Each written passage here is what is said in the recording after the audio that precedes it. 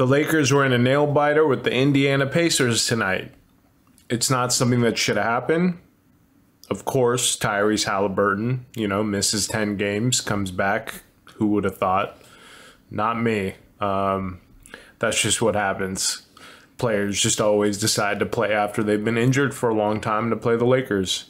That's just how it goes. That's how it's always been. But that's not what this video is about. This video is about Darvin Ham, Russell Westbrook, and our shooting. This this team, this team needs a trade. This team needs a trade. This team needs a trade to save Darvin Ham from himself. Russell Westbrook and Patrick Beverley cannot be on this team anymore because Darvin Ham can't help himself. He has to play three small guard lineups when we just acquired Rui Hachimura, who's 6'8 with a 7'2 wingspan. And he can't help himself. He can't do it. He can't help himself. Russell Westbrook was horrible tonight. He closed the game. He played the majority of the fourth quarter and he was absolutely awful. He was terrible on defense, terrible on offense. Every missed three he takes turns into a transition basket for the opposing team. It just it's it it's like clockwork. It happens every time. We have Wenyen and Gabriel getting DNPs now. Max Christie hasn't played the past two games. Who's our best three point shooter, by the way? Max Christie, our 19 year old rookie with some of the best defensive fundamentals I've ever seen from a 19 year old kid. Not saying he's a defensive stopper, not saying he's Kawhi Leonard. I'm just saying, in terms of fundamentals, his hands are always up. He always reads the play the right way. I mean, yes, he makes mistakes here and there, but that kid is not playing.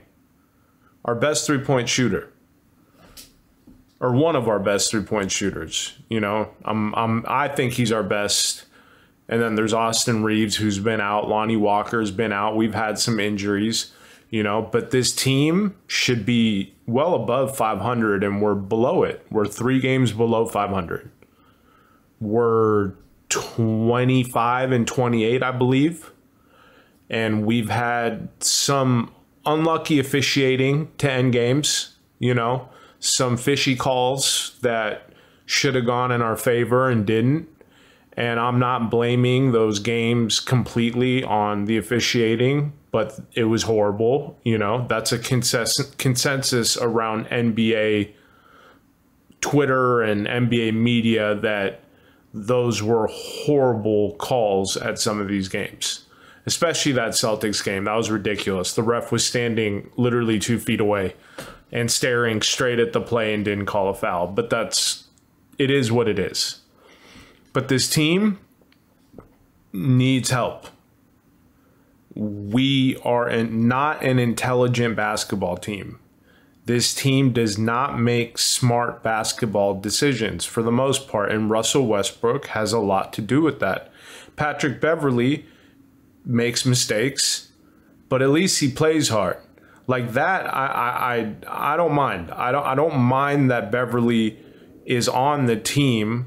What I mind is the way Darvin Ham utilizes him. So that's why he needs to be traded. I would love to keep Patrick Beverley, but we can't have him because Darvin Ham can't help himself with these three guard lineups. It's it's absolutely just insane to me. We have Anthony Davis and LeBron James on this team, and we're under 500. Yes, AD missed 20 games, but we've been in games close with the best teams in the league without AD. With AD, we should be winning these games. But you put AD and LeBron in these non-spacing lineups, and and teams are just packing the paint on us, and that's just how it goes. You know, we we we cannot get into rhythms in some of these games. And it's just nasty work. We watched the Pacers hit open three after open three. Our defense was atrocious. It's going to be atrocious. We have two small little baby guards in the backcourt. I can't keep reiterating this. Like it is is it's ridiculous. And then it turns into three guards against the reserves And that's just how Darvin Ham coaches the game. I'm sorry this has turned into a Darvin Ham hate video, but I've actually been quite disgusted with the way he's coached. We're very far into the season for him not to understand some fundamentals of the game and analytics. Like I'm not like a huge analytics guy, but like there's analytics that he should be looking at to see what the plus minuses are of certain players and certain lineups and I don't think he does that. Like I think he's just a nitty gritty type of guy. Granted, he does get this team to play hard. I'm not, they play very, very hard. They play hard every single night. They try every single night, which is not something that happened last season, which is something I'm happy about. That's why we get close in games. Like we we get leads and then we lose our leads and then we might get into a big hole but we play hard and most of the time if we either lose or we're close it's like within a point or two and that's what's been happening a lot this season but i think in terms of what this team needs this team needs to start the best starting lineup it possibly can and this might be a controversial take. I don't know. People might agree with me, people might not. I don't really care. But at this point, I think Dennis, Schroeder, Max Christie, Rui Hachimura, LeBron James, and Anthony Davis should be the starting lineup of this team. Russell Westbrook needs to play way less minutes. If he doesn't get traded, he needs to play way less minutes because we have better guards than him that are just sitting on the bench right now. Austin Reaves has had a hamstring injury. I want Austin Reaves to literally take all of Russell Westbrook's minutes if that could happen. I doubt that happens because Darvin Ham is the biggest Russell Westbrook stan on the planet. Again, you know, he's obsessed with him. Uh, I thought um, at the beginning of the season it was kind of fluff, like him talking up Westbrook, like he's one of the greatest players to ever play the game, which is true. You know, he is, he was one of the best players to ever play the game. He's a top 75 talent. There were moments in his career where he was incredible. And I'm not even talking about like the triple double moments of his career. I'm talking about like early OKC days. Like early OKC days where like his mid range jumper was automatic he was ridiculous around the basket. His athleticism was absurd. It's still really, really good now. But when he was a young player, it was absurd. But that's not the Russell Westbrook we have now. And we need him gone. And another thing, we have a lot of money on the books right now that need to be traded for long term contracts. Because if they're not traded, it is bad asset management. If Russell Westbrook is not traded, that is bad asset management. Because it's either we trade him or we keep him even next season and extend him because we have his bird rights. We need the cap space. We need to trade Westbrook for more players and try to get younger players. I don't care if we throw in the first round picks Get me the guys in Toronto. I don't care at this point. Put some young guys around LeBron that are smart basketball players that can shoot.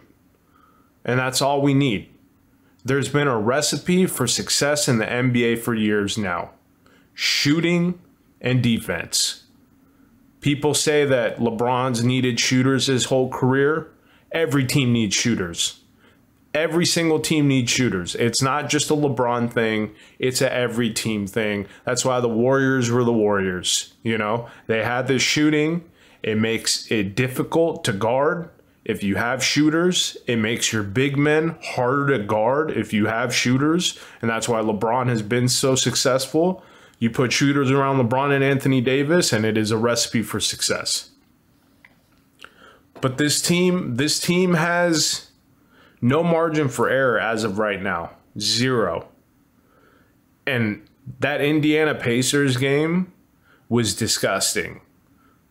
I, am happy we won because we need the W's, but it was a disgusting game. And then going to overtime against the Knicks, that was disgusting. Like that shouldn't have happened. But that's all I really have to say about what's going on with the Lakers. It's been a while since I've done a Laker video. I know that I'm more of a gaming page, but I do talk about the Lakers on this page. So if you've made it this far into the video, you know, I have affiliate links down below. If you like what you see, click on them. That's it.